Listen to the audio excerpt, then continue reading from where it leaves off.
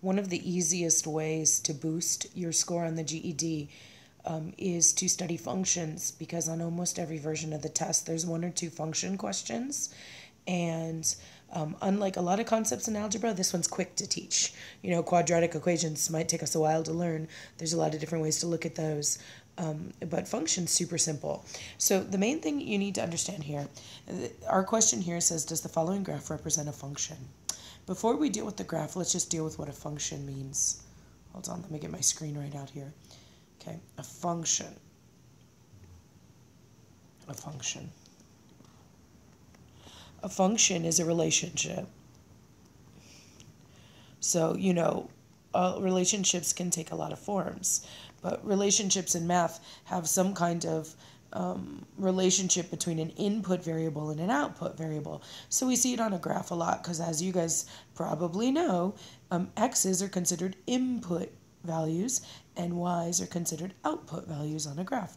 And here we have a graph with an x-axis and a y-axis.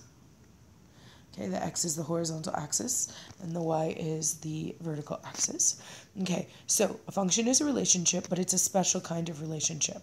It's a relationship where each input value,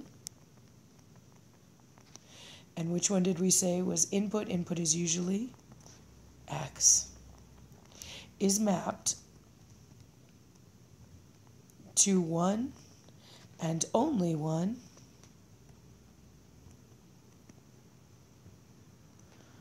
output value. So, and then are we said our outputs were x. So what am I trying to say?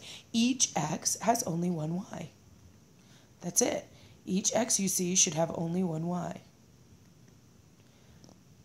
I often joke that um, if your x is faithful, it's a faithful function. Functions have to be faithful. The x has to be faithful for it to be a function. So basically, the way to check is we're going to examine every x value. So like our graph here is just consisting of a few points. So let's take a look. Here's a value. This point V has a value of, let me get a different pen color out here.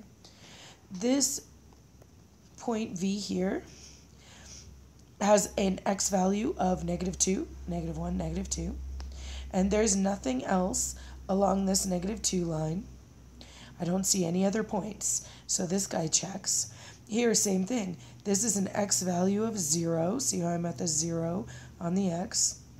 And there's no other uh, values here, x. But right here, this is where I catch this relationship cheating, as I call it. This is an x value right here on the x-axis of 2.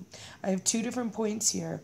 Um, one is the point 2, 0, and one, this one is the point, let's see, 1, 2, 1, 2, 3, 4, 2, 4.